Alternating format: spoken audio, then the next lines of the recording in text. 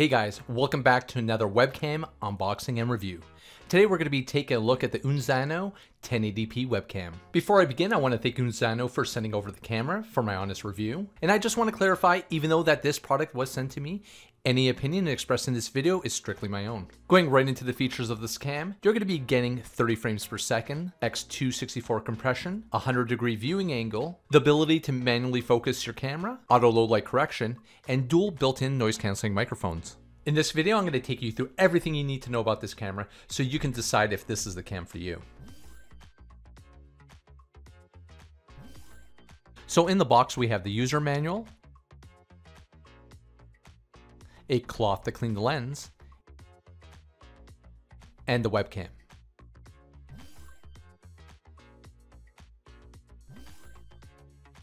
Starting with the build, it's completely made of plastic with a two-tone black and gray finish with a glossy finish on the front of the cam. As you can see, it's pretty compact, coming in at 3 inches wide, 1 inch in depth, and 1 inch in height. Around the lens, there's a focus ring, which you can use to make your image nice and crisp should the image be out of focus.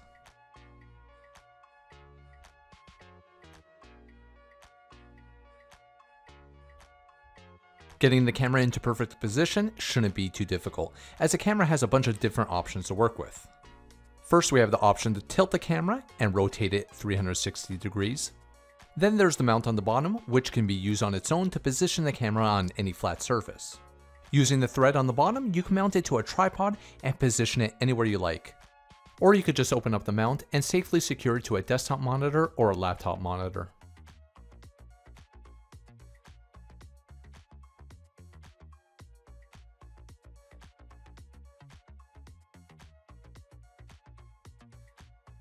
And on the back, we have a 5 foot non-removable USB cord to connect to your computer.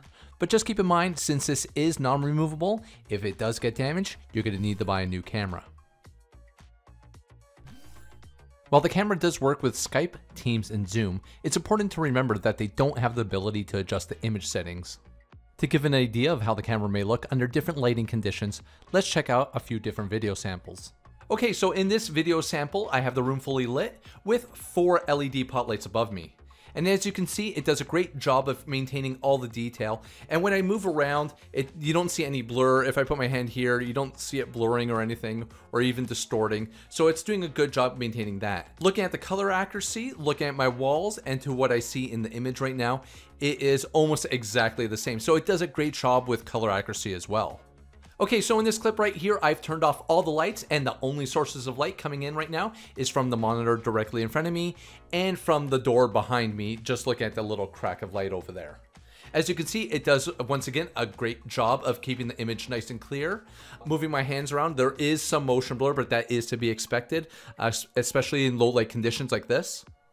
So in this clip here, I once again have my lights turned off, but this time I have my studio lights on, which consists of two softbox lights, one located on the left of me and one located on the right. And as you can see, my face looks pretty overexposed here. And what we're gonna do is we're gonna use OBS to get this corrected because out of the box, you're not gonna be able to adjust these settings. Okay, so now that we're in OBS, we're gonna go into our camera settings. We're gonna click on configure video. Once you open configure video, you're going to get all your different options. Here we could adjust the brightness, contrast, onto whatever output that you're looking to achieve.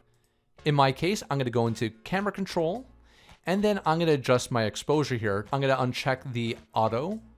I'm just going to take it back. And now, as you can see, now I got a more natural looking video, which is my desired output.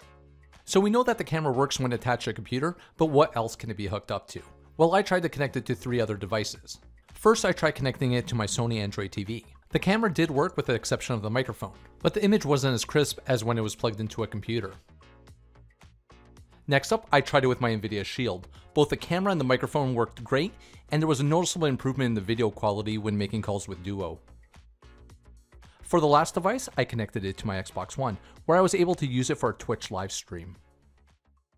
To close out the video, I'm going to let you decide on how well the built-in microphone performs by giving you two different microphone samples, one that's recorded without any background noise, and the other one we recorded with people talking in the background. This is a microphone sample for the Unzano 1080p webcam in a silent room. This is a microphone sample for the Unzano 1080p webcam with people talking in the background. If you're interested in purchasing this webcam, you can find all the product links in the description down below. And while you're there, hit the like button and consider subscribing. Thanks for watching, and I'll see you on the next one.